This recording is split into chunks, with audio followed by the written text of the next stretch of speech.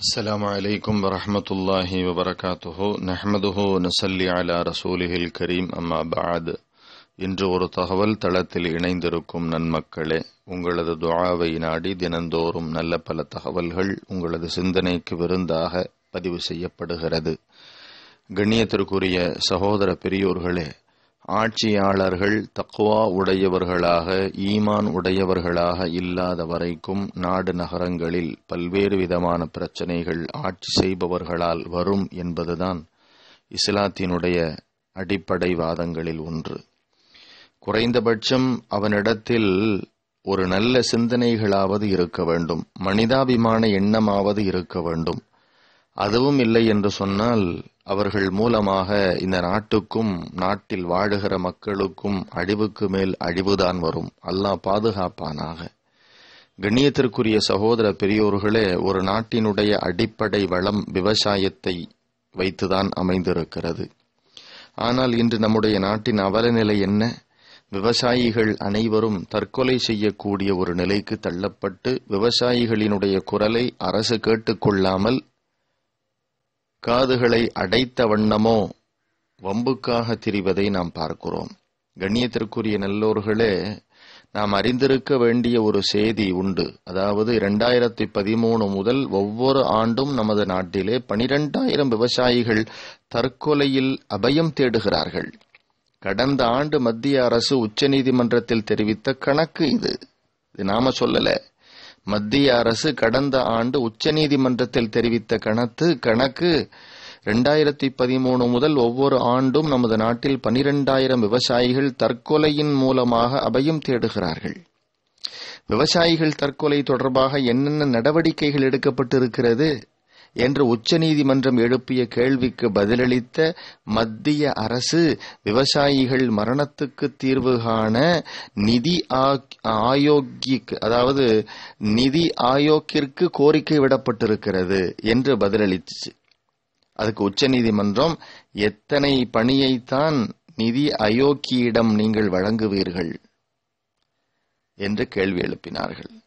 ஹைருங்க நான் சொல்ல வருவது நல்லோர்களே விவசாயிகளுடைய பிரச்சனைகளை ஆய்வு செய்யவோ அதற்கான தீர்வுகளை காணவோ உளப்பூர்வமான ஒரு அடிகூட எடுத்து வைக்கப்படவில்லை என்பதைத்தான் உச்சநீதிமன்றத்தினுடைய கேள்வி சுட்டிக்காட்டுகிறது. இரண்டாயிரத்தி இருபத்தி ரெண்டில் விவசாயிகளினுடைய வருமானம் இரட்டிப்பாகும் என்பது போன்ற பிதற்றல்களை தவிர வேறு எதுவும் இவர்களால் சொல்ல முடியவில்லை. விவசாயிகள் தற்கொலையில் வீழுகிறார்கள். காரணம் ஆட்சி சரியில்லை. அரியலூரில் கந்து வட்டி கொடுமையால தான் உழைத்து விவசாயம் செய்த நிலத்திலேயே விஷம் குடித்து உயிரை விட்ட மாணிக்கம் என்று சொல்லப்படுகிற ஒரு நபர் திருநெல்வேலியில் கடனை அடைத்த பிறகு கூட நகைகளை திரும்ப அளிக்காமல் வங்கி மேலாளர் தரைக்குறைவாக பேசியதால் விஷம் குடித்து தற்கொலை செய்து கொண்ட வேம்பு கிருஷ்ணன் இதுபோல எத்தனையோ விவசாயிகள் உயிரை பலி கொடுத்திருக்கிறார்கள். இத்தனை விவசாயிகள் உயிரை பலி கொடுக்கும் சூழல் இதற்கு முன்னால் ஏற்பட்டிருக்கிறதா? இல்லையே? மத்திய பிரதேச மாநிலத்தில் கடுமையான வறட்சியில சிக்கி தவிக்கக்கூடிய புந்தேல்கண்ட் என்று சொல்லப்படுகிற பகுதியிலே தனிராம் குஷ்வா என்ற இளம் விவசாயி ஒரு துண்டு கயிற்றில் தன்னுடைய உயிரை தற்கொலை தூக்கு போட்டு மாய்த்துக் கொள்கிறார். அவருடைய உடலை மருத்துவமனைக்கு கொண்டு செல்ல உறவு உறவினர்கள் ஆம்புலன்ஸ் அழைச்ச பிறகும் யாருமே வரல எவனுமே வரலை. வேறு வழி இல்லாம பல கிலோமீட்டர்கள் தொலைவில் உள்ள மருத்துவமனைக்கு கட்டிலில் உடலை கிடத்தி குடும்பத்தினர் சுமந்து சென்றிருக்கிறார்கள். என்ன ஒரு பரிதாப நிலை தெரியுமா? இவர்களுக்காக புகாரை அளிக்க யாரும் இல்லை. இவர்களது புகாரை கேட்க யாருக்கும் நேரமும் இல்லை. காவல்துறையும் சரி சட்டமும் சரி இவர்களுக்கு ஆதரவில்லை ஆட்சியாளர்கள் திரும்பி பார்ப்பதும் இல்லை. கடுமையான வறட்சி நிலவக்கூடிய புந்தேல் கண்டில் உயிர்கள் பலிகள் உயிர் பலிகள் தொடர்கதையாக நடந்து கொண்டிருப்பதை காணுகிறோம். இதற்கெல்லாம் காரணம் சீரான ஒழுங்கான இரையச்சமுடைய ஆட்சி இல்லை. ஆனால் ஹசரத் உமர் ஃபாரூக் ரதி அல்லாஹ் அன்ஹு அவர்களது ஆட்சி எப்படி இருந்தது? இரவு நேரங்களில் ரோந்து வருவார்கள். எதற்காக ரோந்து வருவார்கள்? என்னுடைய ஆட்சியின் கீழ் என்னுடைய பார்வைக்கு அப்பாற்பட்ட முறையில் என்னுடைய கண்ணுக்கு அப்பாற்பட்ட முறையில் எவரேனும் சிரமப்படுகிறார்களா? இன்னல் அனுபவிக்கிறார்களா? அவர்களது இன்னல்கள் என்ன? அவர்களது எடுக்கண்கள் என்ன? என்று ஒன்றொன்றாக கண்டு ஆய்வு செய்து அதை நிவர்த்தி செய்யக்கூடிய வேளையில் பெரும் ஹசரத் உமர் ஃபாரூக் ரதி ரதியல்லான் அவர்கள் ஈடுபட்டிருந்தார்களாம். நாம் அறிந்த விஷயம்தான். ஒரு நாள் அவர்கள் இரவு ரோந்து பணியில் வரும்பொழுது ஒரு வீட்டில் பெண்ணின் அழுகுரல் அழுகுரல் கேட்டது.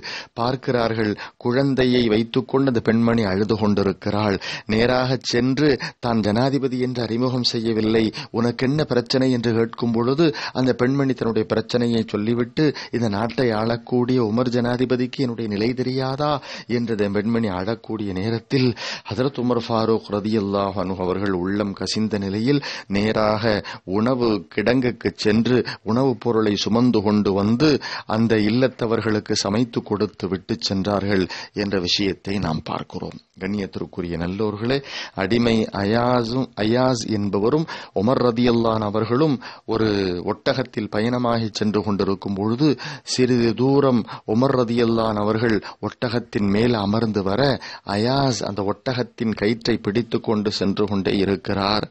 சிறிது தூரம் சென்றதற்கு பிறகு ஹசரத் உமர் ரதி அனு அவர்கள் ஒட்டகத்தில் பயணித்த நிலையில் அடிமை அயாஸ் பணியாளன் அயாஸினுடைய முகத்தை பார்க்கும் பொழுது பணியாளன் அயாஸினுடைய முகத்திலே சோர்வின் அடையாளம் தென்படவே உடனே ஒட்டகத்திலிருந்து கீழே இறங்கி அவரை அடிமையை மேலே ஏறச் சொன்னார்கள். அடிமை ஏற மறுத்தார்.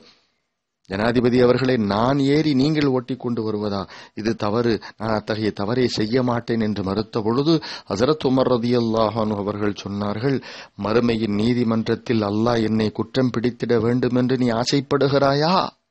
என்று கேட்டார்கள். பிறகு அடிமை பணியாளன் அயாஸ் ஏறி வர ஹசரத் உமர் ரதியல்லான் அவர்கள் அந்த ஒட்டகத்தை இழுத்து கொண்டு சென்றார்கள் மூக்கணாங்கயிறை பிடித்துக் கொண்டு சென்றார்கள் என்றெல்லாம் பார்க்கிறோம். இங்கு நான் சொல்ல வருவது நல்லாட்சி என்பது யார் மூலமாக வரும் என்று சொன்னால் ஈமான் தக்குவா இருந்தால்தான் அங்கு நல்லாட்சி வரும். இல்லை என்றால் குறைந்தபட்சமாவது ஒரு மனிதாபிமானமாவது இருக்க வேண்டும். நம்முடைய உயிரை போன்றுதானே பிறருடைய உயிர் என்று எண்ணுகிற ஒரு மனோநிலை இருக்க வேண்டும். அந்த ரெண்டுமே இங்கு இல்லை. நாம் எந்த எவர்களின் ஆட்சியின் கீழ் இருக்கிறோமோ அவர்களுக்கு இந்த இரண்டுமே இல்லை எனும் பொழுது இவர்கள் மூலமாக நாம் பலன் பெறுவோம் என்ற நம்பிக்கையை நாம் இழக்க நேரிடுகிறது. நேரடியாக எப்படி ரப்பு தாலா மண்ணு செல்வா என்ற உணவை சொர்க்கத்திலிருந்து இறக்கி கொடுத்தான மூசா அலி இஸ்லாம் அவருடைய சமூகத்திற்கு அதுபோல நேரடியான உதவியை நாடி ரப்பிடத்தில் நாம் கையேந்துவோம். இப்பொழுது என்றல்ல எப்பொழுதும் ரப்பிடத்தில் கையேந்துவோம். அல்லாஹ் கிருபை செய்வானாக வாஹிர் தாவானா அனில் அஹமதுல்லாஹி ரபில் ஆலமீன் அஸ்ஸலாமு அலைக்கும் வரஹமத்துல்லாஹி வபரகாத்துஹு